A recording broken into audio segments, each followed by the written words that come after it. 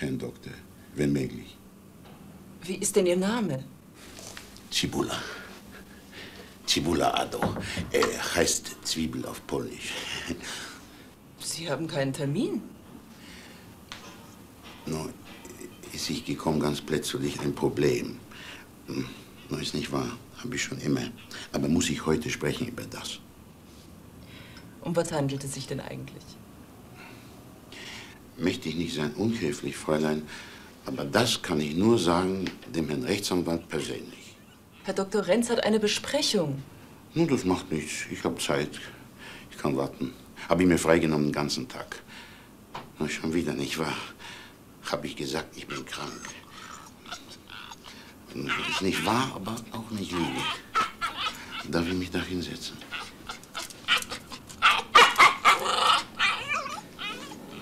Herr Dr. Renz ist den ganzen Tag voll mit Terminen, Herr Chi... Cibula. Herr Cibula. Es ginge Dienstag, den 9. Zu spät.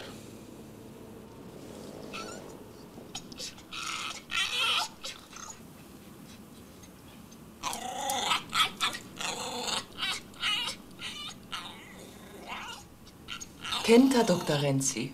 Na ja, und wie? Zu gut. Leider. Also ich kenne Sie nicht. Wie lange sind Sie schon hier, schönes Fräulein? Ungefähr vier Jahre. Mein Boże, kochane, wie vergeht sich die Zeit. Kaum hat man sich ein bisschen umgeguckt, dein Leben ist schon wieder vorbei. Da müssen Sie nicht traurig sein, schönes Fräulein.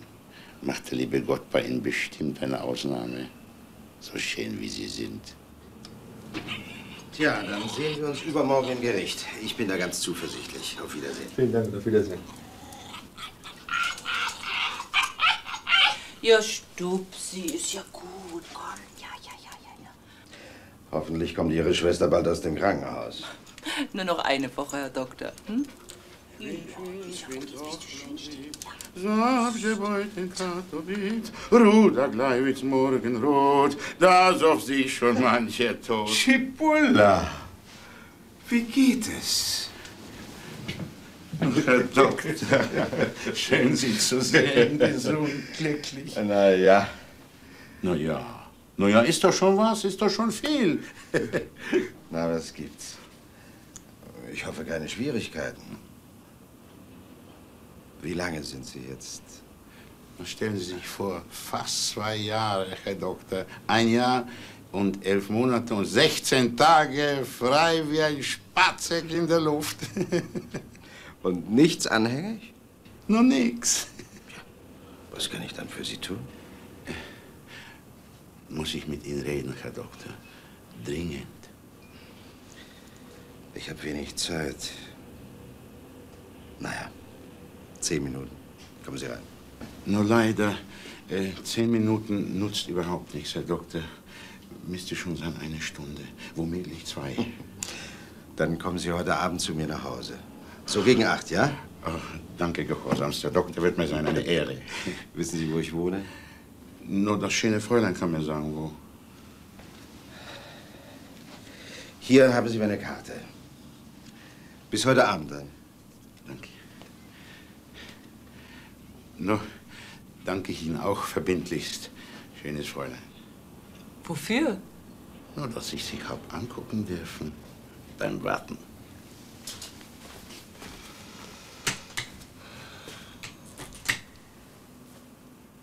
Wenn das einmal passiert, Herr Matula, dass jemand seine Miete nicht pünktlich zahlen kann, dann bin ich der Letzte, der nicht ein Auge zudrückt. Aber bei Ihnen, da ist das ja alle Nase lang so.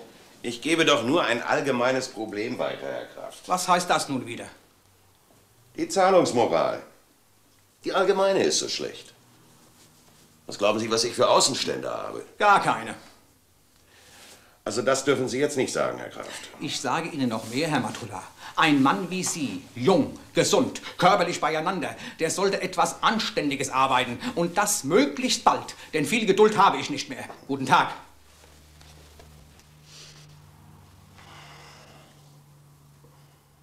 Ado, Sie können doch nicht allen Ernstes zu mir kommen. und mir sagen, Sie haben eine Straftat vor, die Sie mir nicht konkret nennen, und wollen nun wissen, welche Strafe Sie dafür zu erwarten haben. Nur so ungefähr, Herr Doktor. Auch ungefähr ist das absurd. Möchte ich doch gerne sterben in Freiheit, wenn ich sterbe, nicht wahr? Das werden Sie nicht, wenn Sie sich nur das Geringste zu Schulden kommen lassen. Sie wissen, dass Ihnen bei der nächsten Verurteilung Sicherungsverwahrung droht. Ado, Sie wissen, was Sicherungsverwahrung heißt. Sie kommen bis zu Ihrem Lebensende in eine geschlossene Anstalt. Was haben Sie vor? Nur also.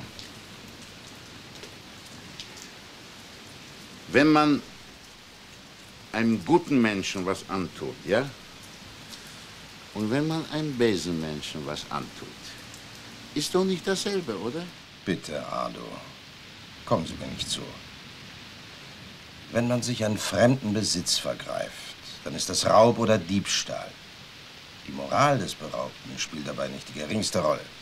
Und es ist vor allem nicht Ihre Aufgabe, sie zu beurteilen. Oder sind Sie der liebe Gott? Ein bisschen was haben wir doch alle von ihm in uns drin, mehr oder weniger, nicht wahr? Also, wenn nur der Bestohlene selber ein Halunke ist, was dann? Ach, so ist das. Sie sind nicht nur Gott, sondern auch noch Robin Hood. Die Reichen berauben und die Armen beschenken, ja? Wollen Sie mich einfach nicht verstehen, Herr Doktor, so intelligent wie Sie sind, noch wirklich? Ja, vielleicht liegt das daran, weil Sie sich so verschwommen ausdrücken. Ich Sie doch nicht zum Mitwisser machen in unserem Rechtsstaat. Wo kommen wir da hin? Sie sollen nichts ausfressen, was ich nicht wissen darf, zum Teufel nochmal. Und wenn der Be Betreffende nur gar keinen Nachteil hat von meiner Tat, im Gegenteil? Es gibt keine Straftat, durch die nicht irgendjemandem ein Nachteil entsteht. Ist das denn so schwer zu verstehen? Nur das, was mir im Kopf rumgeht, ist anders als früher. Gehen wir rein.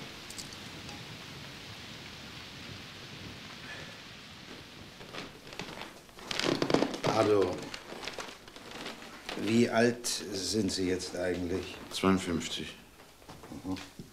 Und wie viele Jahre waren Sie davon im Gefängnis? Mit Kriegsgefangenschaft? Ja.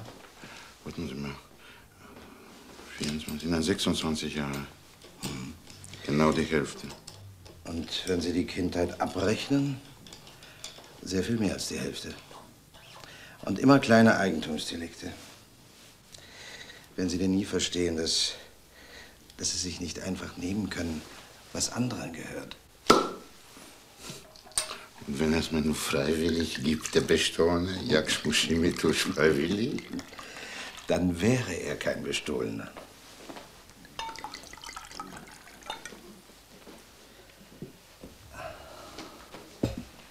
Was haben Sie vor, Ado? Abreißung? No, nein, moi Boże kochane, das ist nicht meine Art. So gut kennen Sie mich doch auch, Herr Doktor. Aber es ist etwas anderes als früher. Naja, moralmäßig möchte mal sagen. Ja, ja, das hatten wir schon, weil der Geschädigte ein Halunke ist. Und, und technisch auch. Früher waren es Diebstähle. Ein Einbruch, ein dummer Scheckbetrug, Heiratsschwindel. Was ist es jetzt? Raub? Ist eine Waffe im Spiel? No, nein, das wissen Sie doch, Herr Doktor, dass ich keiner Fliege kann was zuleide tun. Aber ein Schluck aus der Pulle wäre schon. Wenn Sie diesen, äh, diese Straftat begehen. Aber das werden Sie nicht. Was würden Sie mit dem Geld machen? Hand aufs Herz. Noch ein bisschen gut leben würde mir doch auch mal zustehen, Herr Doktor, sagen Sie doch selber.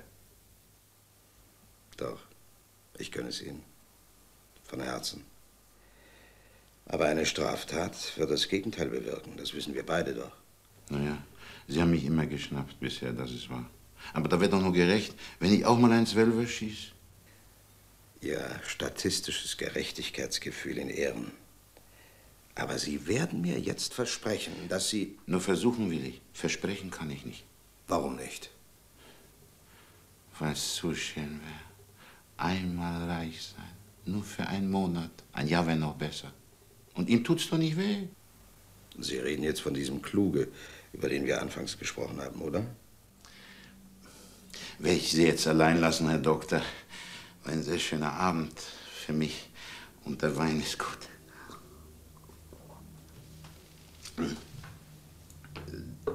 Im Knast, ja. Also da, wo ich zum letzten Mal war, da haben wir immer am Sonntag Musik hören dürfen. Und äh, von Platte. Und da war so ein Stück äh, für Geige von, äh, von Brahm. Brahms. Brahms. Hätten Sie das vielleicht auf Lager, Herr Doktor?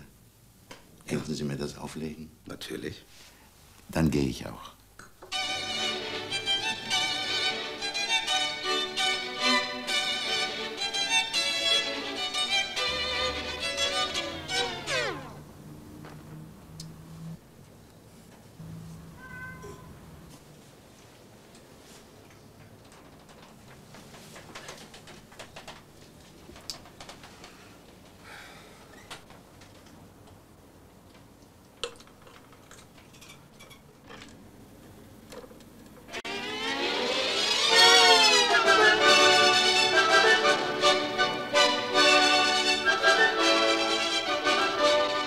Ich kann mich einfach nicht konzentrieren.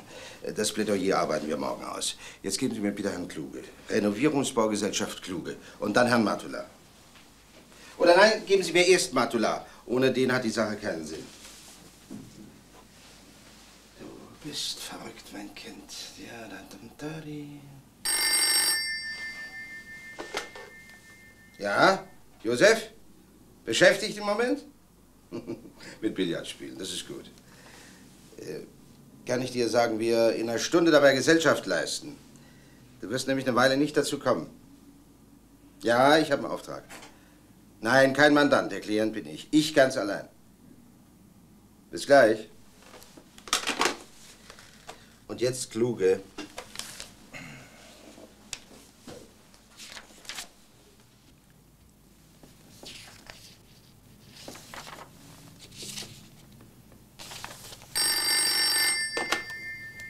Ja, Herr Kluge? Renz hier, Rechtsanwalt Renz. Sie erinnern sich? Ja, sehr richtig. Im Golfclub. Ja, ich bin in letzter Zeit sehr wenig dazu gekommen. Aber ich hoffe, das wird sich ändern. Herr Kluge, Sie beschäftigen einen Arbeiter namens Ado Cipula. Ja, richtig. Cipula ist ein Mandant von mir und ich hätte da eine Bitte. Herr Matula, ein Privatdetektiv, müsste so bald wie möglich mit Ihnen in Verbindung treten.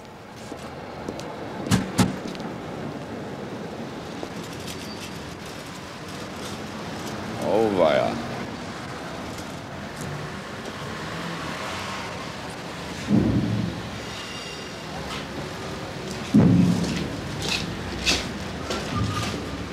Morgen. Wo finde ich denn den Polier?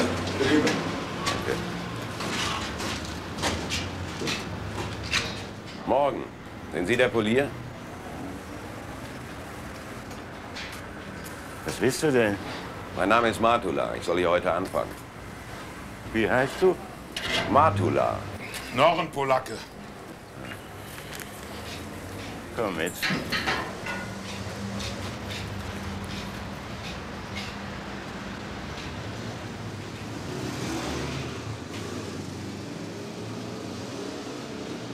Klar, was hier zu machen ist? Ja, verputzen. Helles Kerlchen.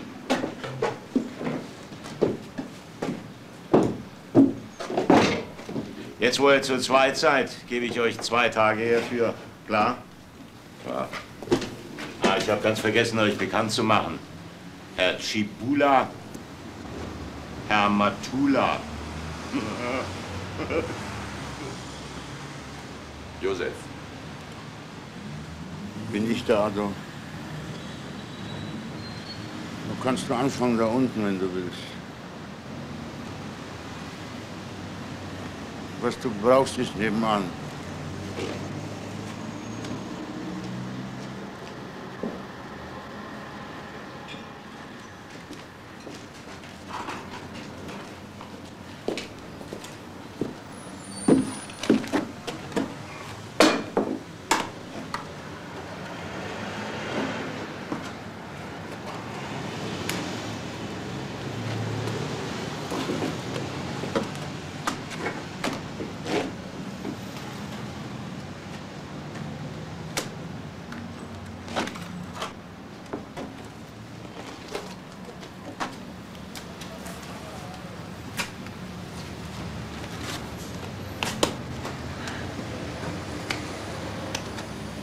Bist du aber nicht Maurer. Ich werde ja auch nur als Hilfsarbeiter bezahlt. Komm mal her.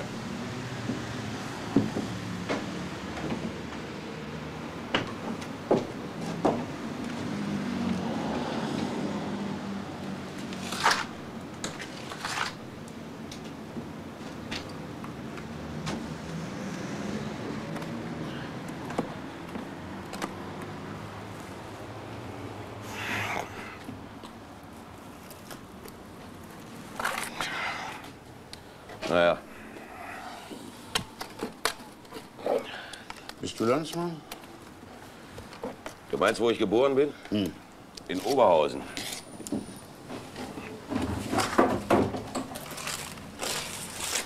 Habe ich mal Matulas gekannt, früher in Sabje, Oberschlesien. Mein Großvater ist aus Königshütte. Jesus Maria, Königskitte. Da in der Nähe habe ich mal einen Sommer lang beim Bauern geschafft. Ich war zwölf. Da hat mich ein Mädel oben auf dem Heuboden unter ihren Rock gucken lassen. Und du, was hast du ihr gezeigt? Sie wollte schon, war schon über 13. Aber habe ich mich nicht getraut.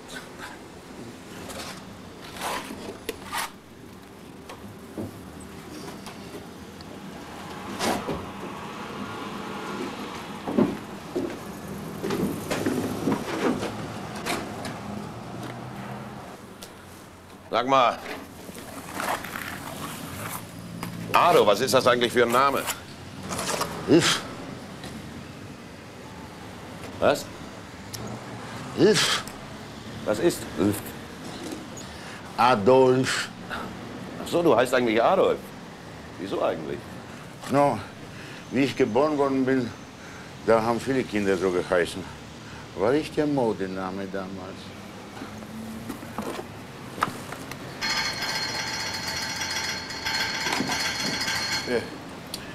Frühstückspause.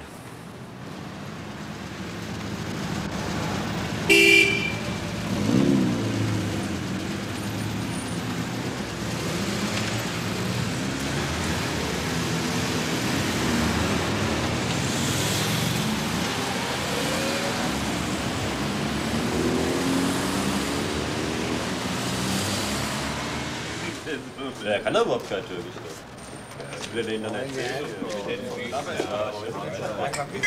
Anzeichen sprechen aber alle Deutsch. Ja, das stimmt, ja. Das habt ihr auch gehört. Er wird auch nicht irgendwelche Sprachen. Naja, Wahlen, aber. Trink doch mal was Richtiges. Ja, du. Es gibt wieder Regen, die Bierflaschen sind tief und spannend. Oh, riecht dir was? Aber kannst du nicht mal was anderes fressen wie Knoblauch?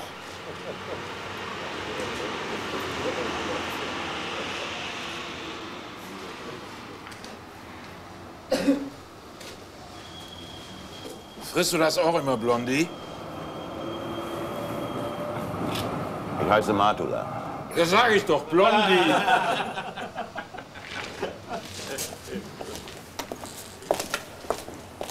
Bring mir noch eine. Oh. Ich dachte, das macht man hier so. Wisch das auf. Wisch dir den Arsch. Den wisch ich dir, keine Angst.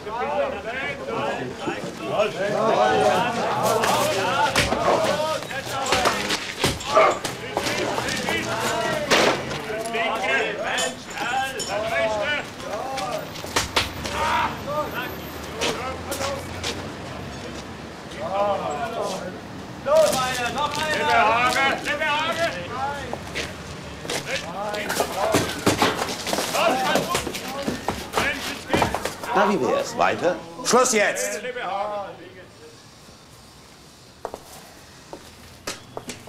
Wer hat das Bier geholt? Ich. Zum Einstand. Dann hol gleich noch eins zum Ausstand. Saufen, prügeln. Es fehlt nur noch, dass ihr mit Weibern antanzt. Ja, was sitzt da noch rum? Die Frühstückspause ist seit zehn Minuten vorbei. Bis Freitag ist das hier fertig, ist das klar? Das schafft man nicht, Chef. Nee, mit Saufen bestimmt nicht. Ich würde es mal mit Arbeiten versuchen. Dann müssen die Polacken mit runterkommen. Die bleiben, wo sie sind. Und ihr seid auch am Freitag fertig. Und Leute aus Polen heißen Polen und nicht Polacken. Ich lasse mich hier nicht schinden.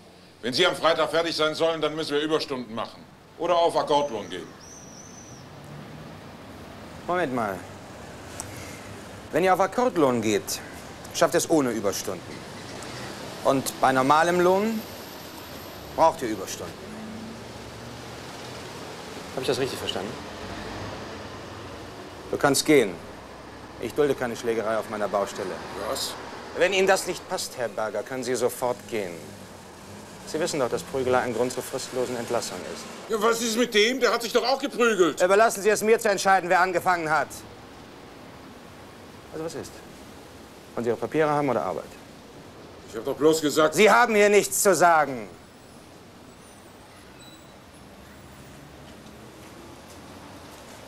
Also was ist? Schafft ihr es bis Freitag? Ohne Akkord und ohne Überstunden? Wird schon irgendwie gehen, Chef. Wir sehen dann, ob ich was drauflegen kann.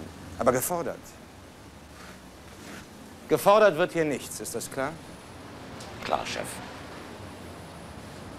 Und wenn Sie demnächst einen ausgeben wollen, dann machen Sie das nach Feierabend.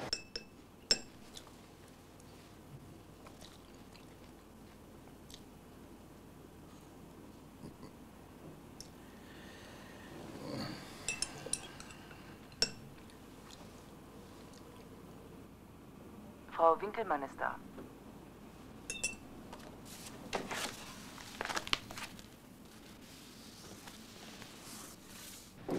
Na, weißt du, was das war vorher, bevor das der Herr Kluge das gekauft hat? Du wirst es mir gleich sagen. Da war das großes Mietshaus für kleine Leute. Bisschen ärmlich, nicht der letzte Schrei. Haben die Leute eben aus dem Fenster gucken müssen, wenn sie haben wissen wollen, wer unten klingelt. Aber billig, du. 350 M haben die Leute zahlen müssen. Und weißt du, was sie jetzt zahlen? 1300. Nicht dieselben natürlich. Dafür müssen sie auch nicht die Treppen steigen mit eigenen Füßen. Äh, komm mal mit. No, und die Damen haben so eine feine Schüssel, um sich das, äh, du weißt schon was, zu waschen. Ich tue meine Arbeit und dafür kriege ich mein Geld. Mehr interessiert mich nicht. Na, und was glaubst du, was der verdient, der Herr Kluge? Habe ich mir ausgerechnet. Eine Million allein an dem Bau. Aber hat er fünf davon. Manche haben es eben hier und manche haben es hier. Du hast eben hier, haben wir heute Morgen gesehen. Wenn du es hier hast, warum bist du dann nicht so einer wie Kluge? Und das sage ich dir. So ein Geldscheißer wie der Pierre und der Verfluchte wäre ich nie im Leben. Kannst du mir glauben? Aber sein Geld möchtest du gerne haben. Na ja, mächtig. Für mein Leben gern. Er wird es dir aber nicht geben. Vielleicht nicht freiwillig. Du, war ich mal in seiner Wohnung? Tag. Was heißt Wohnung? Eine Villa, verstehst du? Oben auf Hochhaus drauf. Ein Penthouse. Was hast du denn da gemacht? Wirst du nicht glauben. Na, vielleicht doch. Hat er sich ein Tresor einbauen lassen, weil er nicht mehr weiß, wohin mit der vielen Pinke? Das wird er auf der Bank haben, wie alle anderen auch. Nur wozu braucht er dann Tresor? So eine Stahltür und Schloss mit Nummern? Was hast du denn mit dem Tresor zu tun? No, habe ich die Wand verputzen müssen, wo er das Ding hat einmauern lassen. Ich kann mir vorstellen, was das für ein prickelndes Gefühl für dich war. Aber den Öffnungscode wird er dir vermutlich nicht verraten haben. Hm? Wohnt da oben ganz allein, ist sich oft verreist. Was darf's sein, bitte? Großes Bier, bitte. Großes Bier. Nun, wie war's? Oh Mann, mir tun alle Knochen weh. Ich hoffe nur, dass dieser Mummenschanz nicht lange dauert.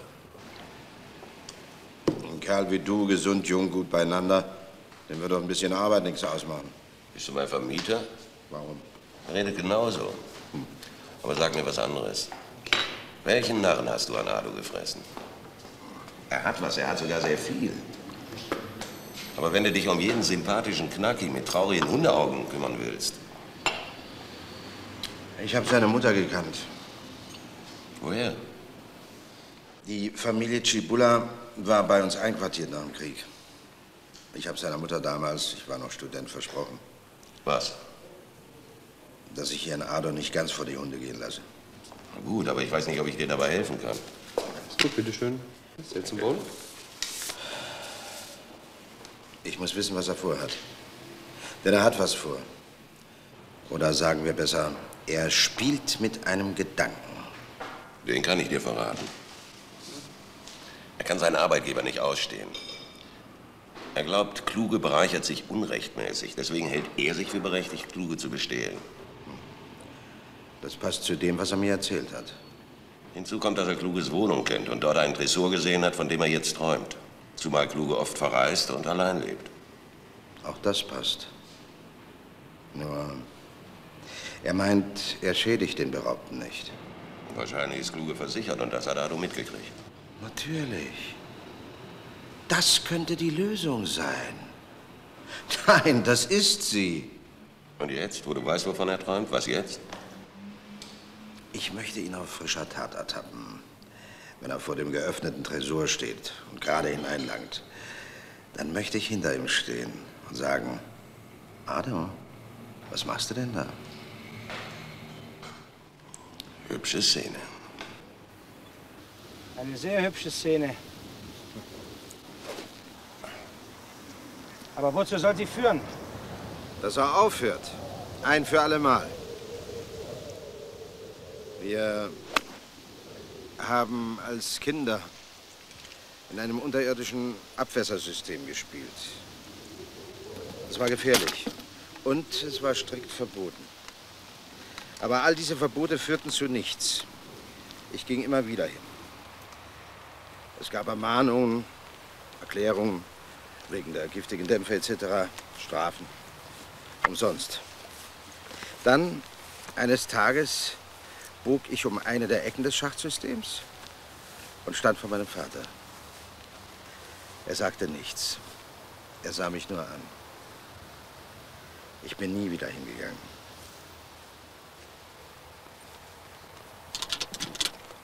Aber Ado ist kein Kind mehr. Doch. Na schön, aber Sie sind nicht sein Vater. Aber etwas sehr Ähnliches. Entschuldigen Sie, Herr Dr. Renz, aber könnte es sein, dass die Naivität von Ado Ansteckend wird? Ja, möglich. Ich bin kein Psychologe. Ich meine, ich habe nicht Psychologie studiert. Aber ich halte mich für einen ganz passablen Menschenkenner. Was ich aber zweifellos bin, ein Ado-Kenner. Mehr noch, ein Ado-Experte. Ich habe seine Akte gestern noch mal durchgeblättert. Er befindet sich in jener Grauzone, die manche Psychiater mit Schuldunfähigkeit bezeichnen. Andere nicht. Ich habe das im letzten Prozess versucht, aber das ist ein gefährliches Spiel. Man erspart ihm vielleicht die Haft und bringt ihn stattdessen in eine Heilanstalt. Und da wollen Sie lieber gleich selbst den Therapeuten spielen. Kann das schaden?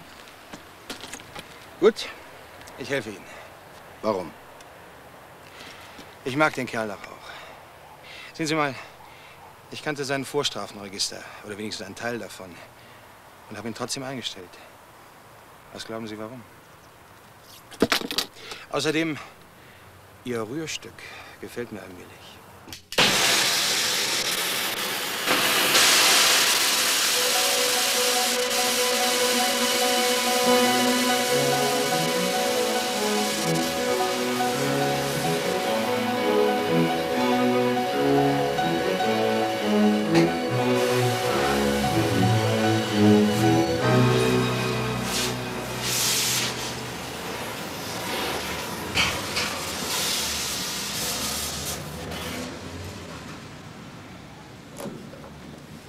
Kannst du aufhören?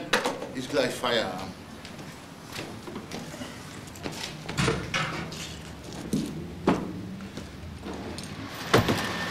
Wie kommt ihr zurecht? Ganz gut. Hätte gar nicht gedacht, dass du so gut mit dem Schneidbrenner umgehen kannst. Aber ich gern, wenn das so zischt und liegt. Da muss ich immer an Helle denken dabei. Und das gefällt dir? Ja, hilft einem dazu, dass man anständiger Mensch bleibt.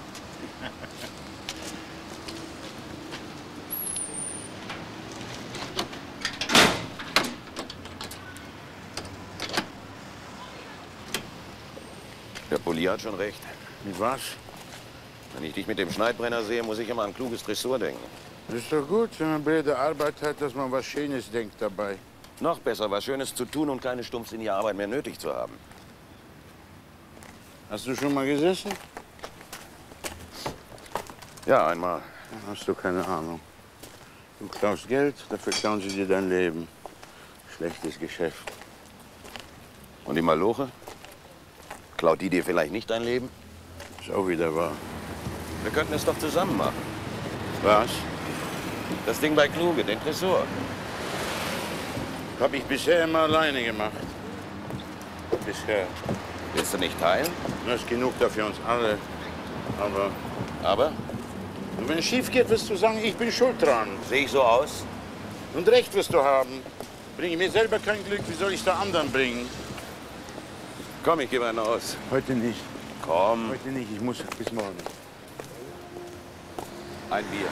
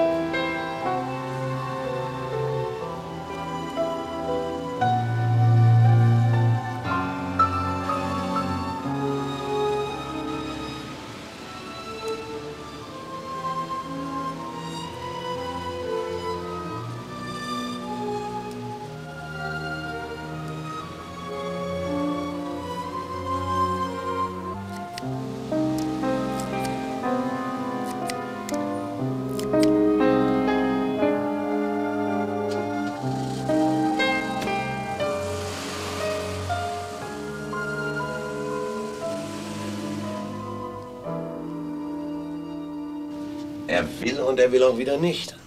Sowas nennt man Gewissenskampf. Aber was hat der Mann damit zu tun, den er heute Morgen getroffen hat? Vielleicht ein alter Kumpel, mit dem er das Ding lieber dreht als mit dir. Er hat gesagt, dass er immer alles allein gemacht hat. Ja, das stimmt. Außerdem sah der Mann nicht wie ein Knacki aus. Sondern? Eher wie ein Bankdirektor. Ich gebe zu, ich kenne mich mit Ado nicht aus. Zuerst habe ich gedacht, er wäre simpel. Ja, einfältig, aber das ist er nicht. Manchmal. Ja. Manchmal, da glaube ich, er hat die ganze Geschichte von vornherein durchschaut und macht sich lustig über mich, beziehungsweise über uns. Glaubst du das wirklich? Nein, eben nur manchmal. Dann wieder meine ich, er ist unschuldiger als wir beide zusammen. Und dann wieder, er wäre unheimlich abgefallen. Du kennst ihn länger. Warum sagst du nichts? Wir können ihn doch nicht in eine Tat reintreiben, die er ohne uns gar nicht begehen würde. Ich dachte, das nennt man Therapie. Ach, red keinen Stuss. Wir müssen die Situation entscheidungsreif machen. Jawohl, das ist das Wort. Entscheidungsreif. Sieh dir meine Hände an. Nur Risse und Schwielen. Du verdienst doch nicht schlecht bei mir. Du bezahlst mich nicht für Heizkörperschleppen. Ein Privatdetektiv ist ein Geistesarbeiter. Gut. Dann mach Ador entscheidungsreif. Du Geistesarbeiter.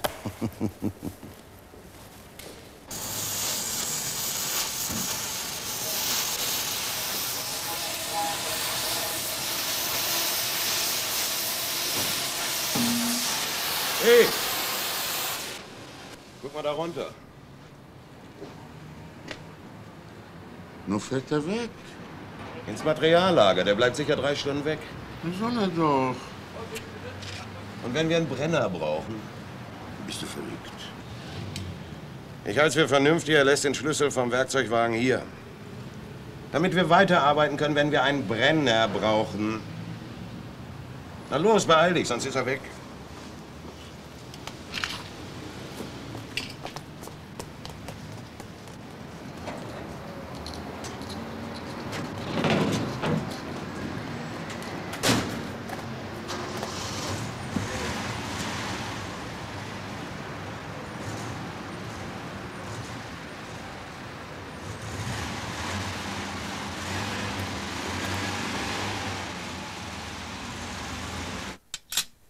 Vierzehnneunzig.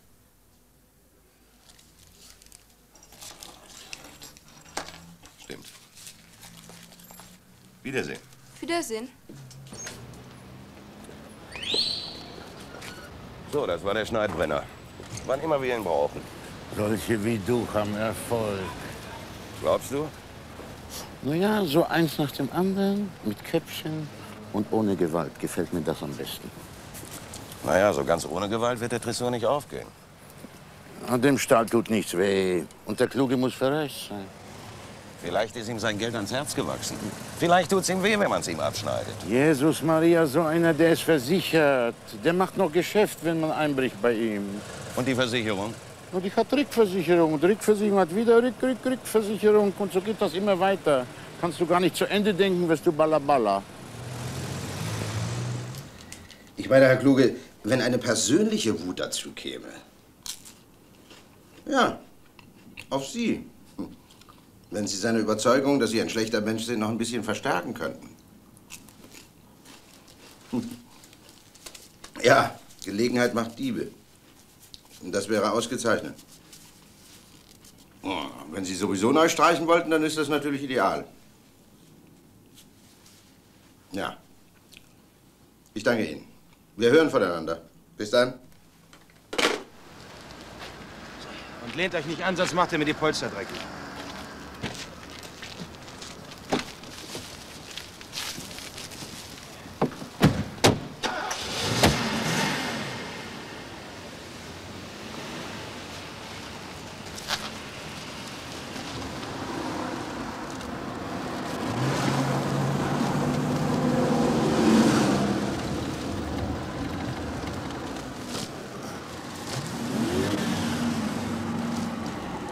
Ihr sollt euch nicht anlehnen.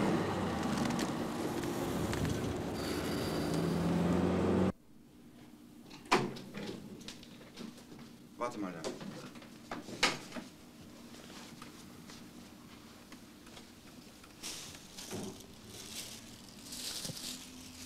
So. Hier könnt ihr das Zeug draufstellen. Also, meine Freundin gefallen die Wände nicht mehr. Das heißt, die Farbe anwenden. Sie will sie grau. Also machen wir sie grau. Schiebt die Möbel zusammen und äh, oben liegt was zum Abdecken. Guten Tag. Äh, ja, und äh, lass die Türen zu. Ich brauche den Gestank nicht im Schlafzimmer. Hm? Die Fußleisten könnt ihr mitstreichen. Tja, fangt am besten oben an. Hm? Mal fragen? Nö. Grau? Ja, grau, hab ich ja gesagt. Fußleisten auch grau? Nein, die natürlich weiß. Lack ist dabei. Und Leitern sind auf dem Balkon.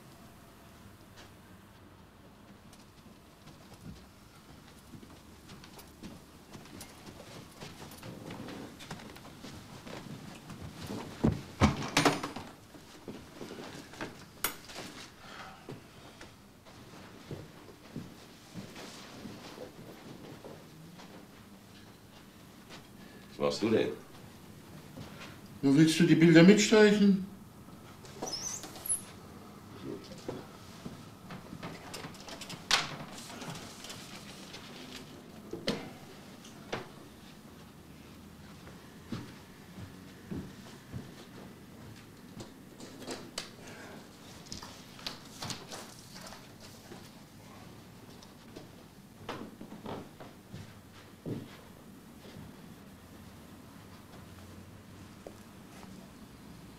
Schönes Bild. Sehr schönes Bild. Was findest du denn da so schön dran? Mój Boże, kochany. Siehst du bloß Oberfläche? Musst du tiefer sehen. Tiefer?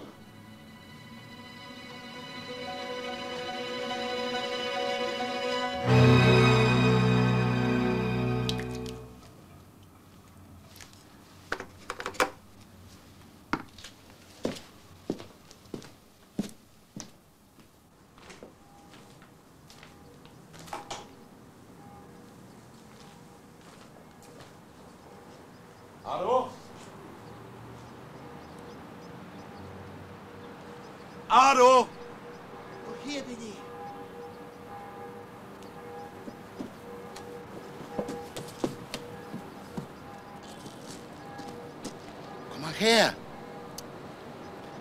Du kannst über Feuerleiter klettern.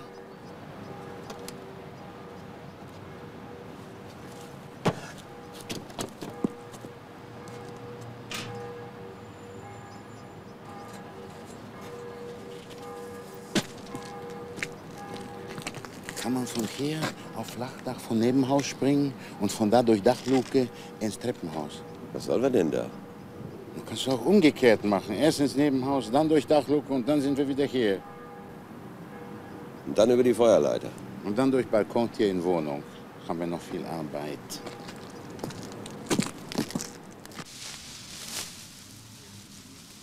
Ihr Mietschutz interessiert mich einen Dreck. Entschuldigung. Ich habe dieses Haus gekauft und ich, und ich habe das Recht. Unterbrechen Sie mich nicht! Und ich habe das Recht, aus einem Saustall ein modernes, hygienisches, ästhetisches, der modernen Stadtarchitektur angepasstes, komfortables Wohngebäude zu machen. Ja, natürlich gibt es in der Renovierungsphase Dreck. Ja, auch Lärm. Ja, Rechtsanwälte haben wir alle. Die gibt es Gott sei Dank wie Sand am Meer.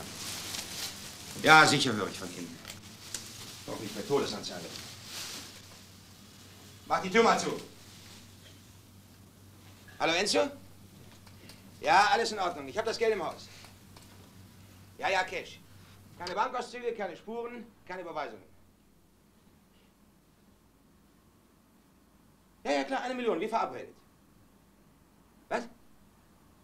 Ja, der Blick auf den Gardasee ist nicht so schön wie versprochen, aber darüber reden wir am Montag. Hm? Nee, nee, am Wochenende kann ich nicht, da bin ich in Hamburg. Aber pass auf, ich nehme die Frühmaschine und wir treffen uns, sagen wir, um elf bei mir am Montag. Hm? Alles klar, ja. Achso, und bring einen Koffer mit, ich habe das Geld in Hundertern, ja? Alles klar, ciao, bis Montag, Enzo, ciao.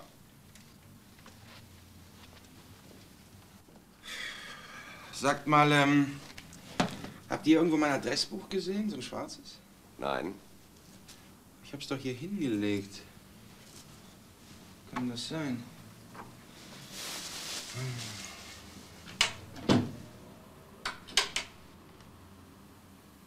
Was ist denn das? Komm mal her. Ja, los, kommt beide mal her. Was ist das? Eine Schramme. Richtig. Eine tiefe Schramme quer über die ganze Kommode. Wisst ihr, was das für Holz ist? Ne? Mahagoni. Wisst ihr, wie alt die Kommode ist? 200 Jahre. In 200 Jahren hat es keiner geschafft, diese Kommode zu zerkratzen. Da müssen erst zwei Gipsköpfe wie ihr kommen, um das fertig zu bringen. Raus jetzt! Und was ist mit unserem Lohn? Was?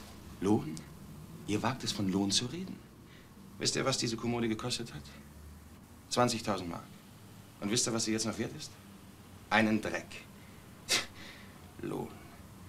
Wenn ihr Schwachköpfe irgendetwas hättet, würde ich euch auf Schadenersatz verklagen. Also, wofür wollt ihr Lohn? Dafür, dass ihr meine Möbel zerkratzt? Raus jetzt!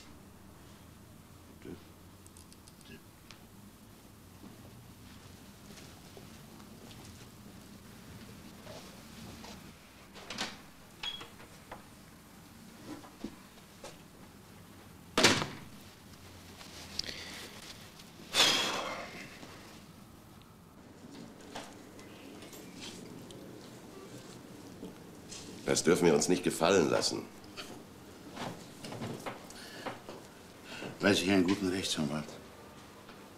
Oh nein, ist zu schade für das. Rechtsanwalt? Ich höre immer Rechtsanwalt. Kluge verreist morgen. Die Knete liegt im Tresor. Wir haben den Schneidbrenner. Wir wissen, wie wir einsteigen. Und du redest von einem Rechtsanwalt? Cholera, Pistolisch, aua. Passt sich das alles zu gut? Ja. Das ist eine Gelegenheit, die hat man nur einmal im Leben.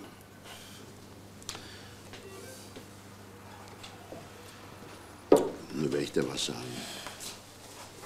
Das Leben, Matula, ist eine Sache und der Teufel, verstehst du, ist sich andere. Mhm. Und es müsste mit dem Teufel zugehen, wenn wir da nicht zugreifen würden.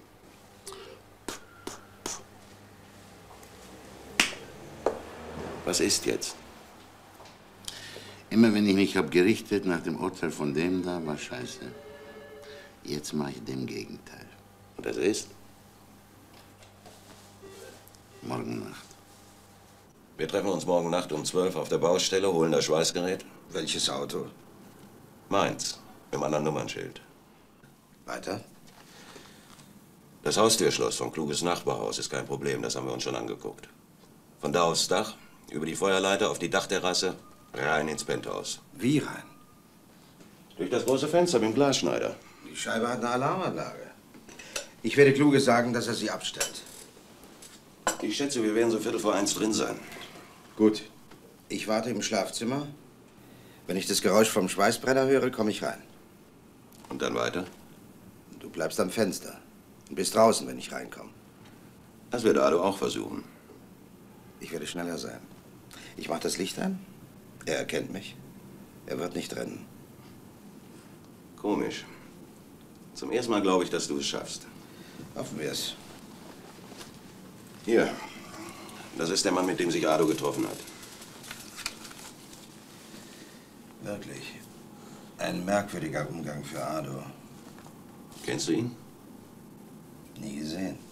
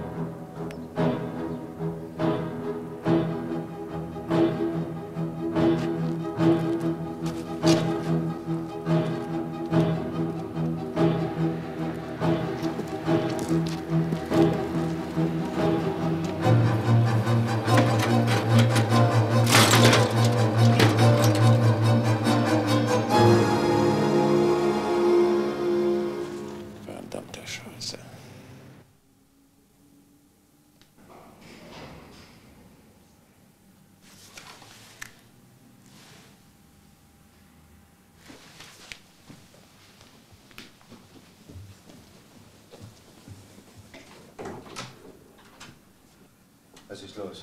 Er ist nicht gekommen. Das hatte ich leise gehofft. Das ist die beste Lösung. Aber der Schneidbrenner ist weg. Verdammt. Es muss mit dem Mann zu tun haben, mit dem er sich getroffen hat.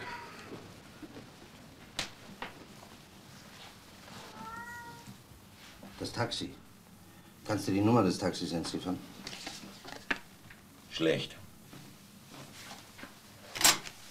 Hier. Danke. FBU 97. Staatsanwalt Dr. Renz. Hören Sie zu. Es geht um ein Verbrechen, das in diesem Moment geplant ist und vielleicht noch verhindert werden kann.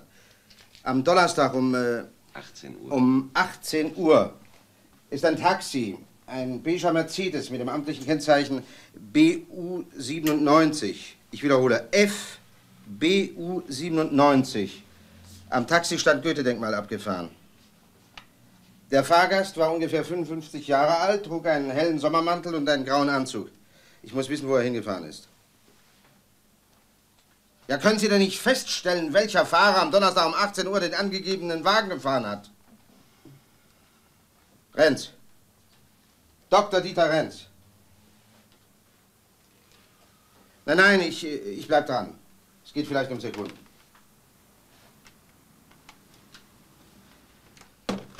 Und wenn er nun nicht nach Hause gefahren ist, sondern irgendwo hin? Solide Typen fahren nach Hause. Vielleicht ist ja auch Ado zu Hause. Und macht sich mit dem Schneidbrenner eine Erbsensuppe warm. Ja? Ich verstehe. Und der Fahrer ist sicher?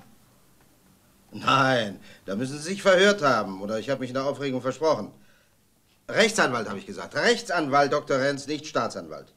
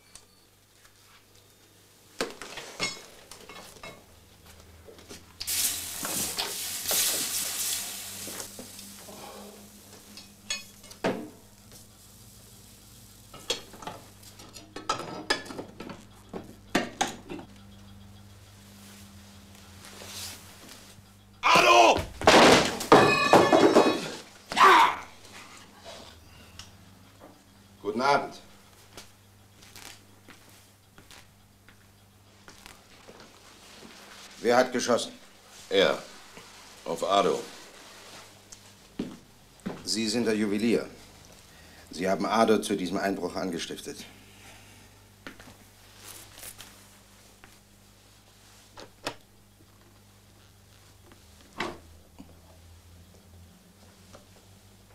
Der Tresor ist leer.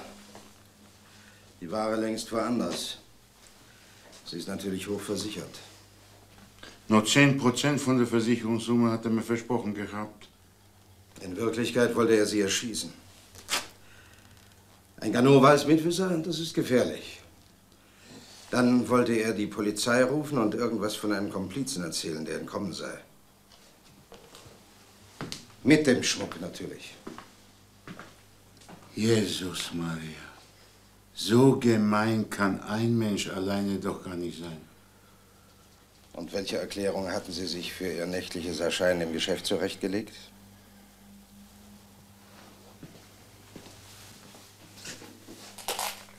Ah ja, ein paar Perlen, die Sie irgendeinem Kunden zu Hause gezeigt haben und in den Tresor zurücklegen wollten. Lieber Herr Doktor, was jetzt? Jetzt erklären wir den Herrn von der Polizei, dass Sie mir, Ihrem langjährigen Anwalt, von dem Vorschlag des Juweliers erzählt und mich in Ihrer Gewissensnot um Rat gefragt haben. So war es doch, oder? Ja, so war das. Ich habe Sie zum Schein ein Verbrechen planen lassen und Ihnen den Privatdetektiv Matula an die Seite gegeben. So war es doch, Herr Matula, oder? Genauso. Nur so konnten wir drei den Herrn Juwelier überführen.